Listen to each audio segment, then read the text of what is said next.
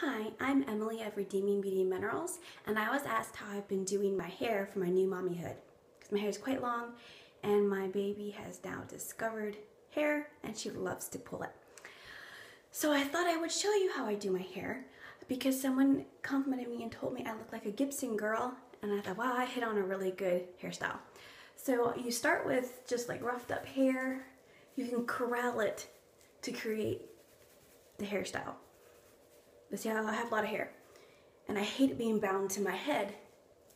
This is why I designed this hairstyle. So you kind of pull it up into here-ish. Leave some volume, leave it loose. Kind of taking the ponytail, pushing up rather than pulling it down. Push it up. And then you take your hands, or your hand rather, and push it. It's like you're creating a wad of hair on top of your head. I actually sleep like this too. Uh, so then I don't pull my hair. So I've created a wad of hair, right? I like to tuck in some the loose ends here. I don't really like many hairs poking out. Okay. And then you take your hair elastic. I use those little clear ones. And you put it around the hair at the base, leaving a whole bunch on top of your head. It's not gonna stay like that, especially for my heavy hair. So now you take two swirly hairpins. You could take more than that, it's just all I have. And you can still see the clear elastic band. I hate seeing elastics. So you take some edges of the hair, kind of smush your hair down, take some edges of the hair, and then twist it in your hair. Then you do the same thing for the other side. Grab the edges of your hair, swirl this one in.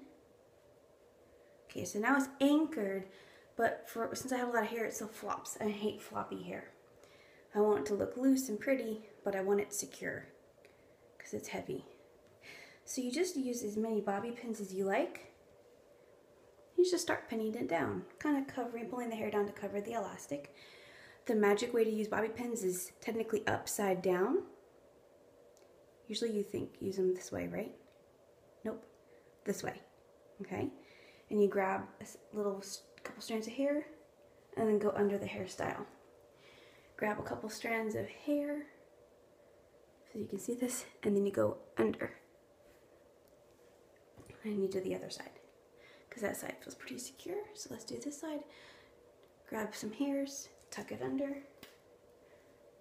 I don't like this loose end here, so I'm gonna put that in the bobby pin and tuck it under. And sometimes it is a little funky on the sides, and so you can pull that piece up. Grab it with the bobby pin, tuck it under. That's a little too tight.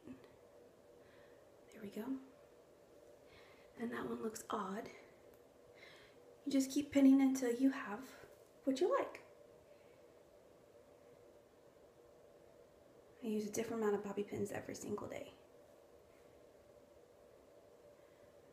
And, hmm, that's a little too long to be a stray hair. So let me pull that up and in there. Then of course you can finish with like a little flower or something. So I pinned that in the bobby pin and I'm gonna stick that in.